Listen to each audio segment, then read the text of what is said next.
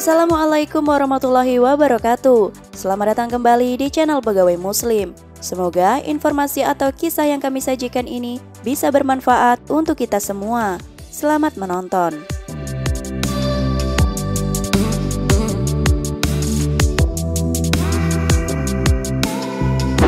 Eropa dikenal sebagai lambang kemewahan dan simbol kemajuan zaman, terutama pada abad ke-21. Pada masa kejayaan Islam, Islam berhasil menaklukkan sebagian Eropa seperti Spanyol, Prancis Tengah, dan sebagian Italia. Saat awal Islam masuk ke Eropa pada abad ke-8, pasukan muslim yang berhasil menaklukkan Andalusia atau Spanyol kemudian bergerak ke Prancis. Kekuasaan Islam di Prancis sampai ke daerah Asturias di Provinsi Galicia hingga ke Teluk Biscay pantai Prancis. Namun secara de facto, kekuasaan umat Islam belum sampai pada daerah-daerah pedesaan. Saat itu, Prancis adalah sebuah wilayah yang terdiri dari 27 kerajaan kecil.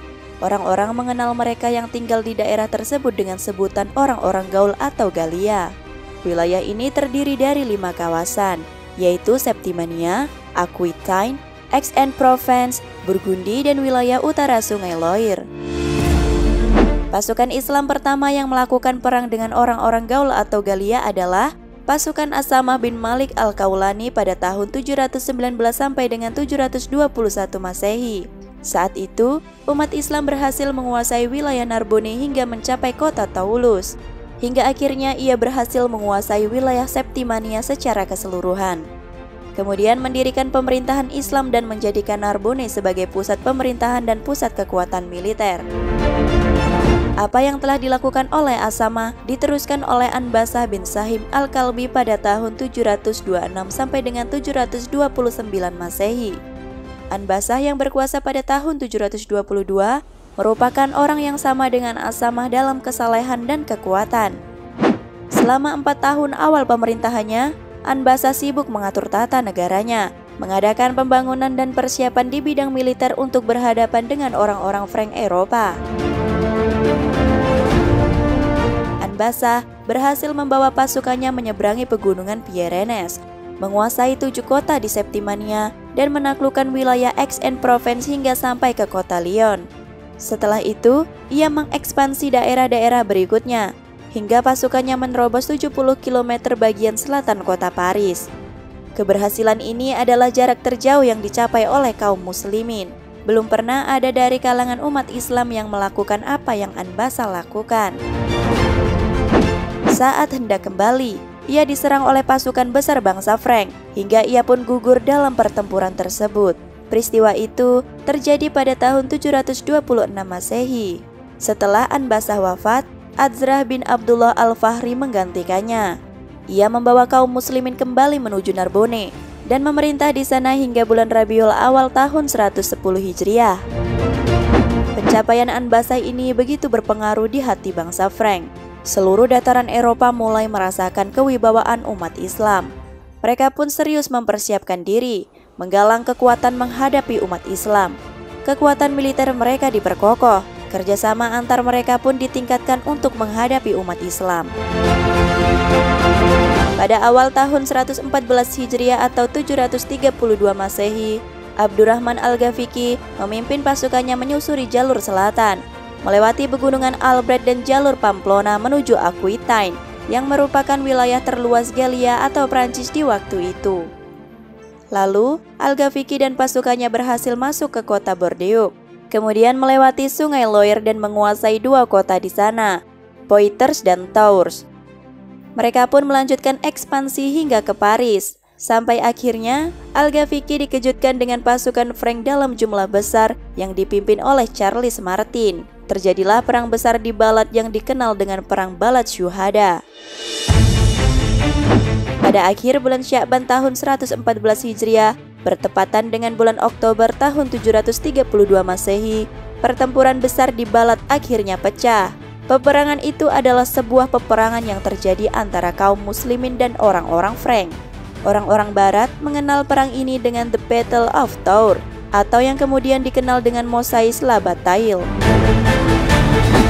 Balat Syuhada adalah perang di mana pedang-pedang saling bertemu panah dan tombak berterbangan menghujam sasarannya. Saat itu, kesabaran umat Islam benar-benar diuji. Demikian juga niat jihad dan mental mereka.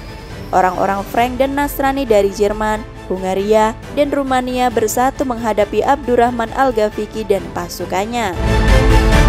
Peperangan ini berakhir dengan kekalahan kaum muslimin dan Abdurrahman Al-Ghafiqi gugur dalam peperangan ini. Karena banyaknya umat Islam yang gugur dalam perang ini, maka perang ini dinamakan Balad Syuhada. Perang ini adalah perang terbesar antara umat Islam dan Nasrani Eropa. Bahkan ada yang mengatakan antara dunia timur dan barat. Kekalahan yang diderita umat Islam di Balad menjadi penyebab perkembangan Islam di Eropa terhambat. Salah seorang orientalis yaitu Henry de Saimbon, menyatakan kekalahan umat Islam di Balat membuat orang-orang Eropa terlambat mengenal peradaban. Kekalahan di Balat Syuhada juga menjadi faktor terbesar yang meruntuhkan Andalusia di kemudian hari. Menurut Ali bin Tohir As-Sulami, seorang ulama Syafi'iyah yang hidup tatkala terjadinya perang salib, setiap tahun bagi seorang pemimpin muslim harus mengadakan ekspedisi keluar dari kawasan negerinya bukan untuk keserakahan atau mencari harta rampasan perang dari musuh, tetapi bertujuan untuk menjaga dan mempertahankan wilayah-wilayah Islam dari ancaman dan agresi militer non-Muslim. Cara demikian selain memiliki dampak psikologis untuk membuat para musuh Islam tidak punya nyali memusuhi umat Islam, juga menciptakan kestabilan militer umat Islam. Islam di Prancis kembali berkembang di akhir abad ke-19 dan awal abad ke-20. Bahkan, pada tahun 1926, telah berdiri sebuah masjid yang sangat megah bernama La Grande Mosquée de Paris di ibu kota Perancis. Di negara ini, Islam berkembang melalui para imigran dari Afrika, seperti Aljazair, Libya, Maroko, Mauritania, dan lainnya. Sekitar tahun 1960-an, ribuan buruh Arab berimigrasi secara besar-besaran ke daratan Eropa, terutama di Prancis. Saat ini, jumlah penganut agama Islam di Prancis mencapai 7 juta jiwa. Dengan jumlah tersebut, Prancis menjadi negara dengan pemeluk Islam terbesar di Eropa. Peran buruh imigran asal Afrika dan sebagian Asia membuat agama Islam berkembang dengan pesat. Mereka mendirikan komunitas atau organisasi untuk mengembangkan Islam. Secara perlahan-lahan, penduduk Prancis pun makin banyak yang memeluk Islam.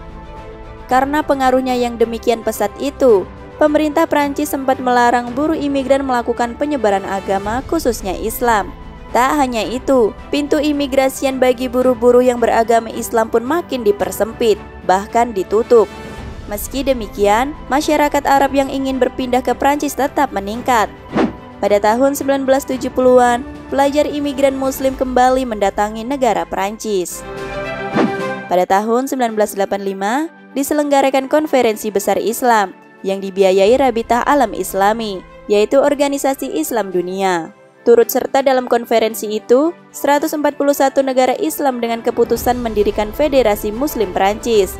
Hasil konferensi dan terbentuknya Federasi Muslim itu berhasil mempersatukan sebanyak 540 buah organisasi Islam di seluruh Prancis dan melindungi 1.600 buah masjid, lembaga-lembaga pendidikan Islam, dan gedung-gedung milik umat Islam.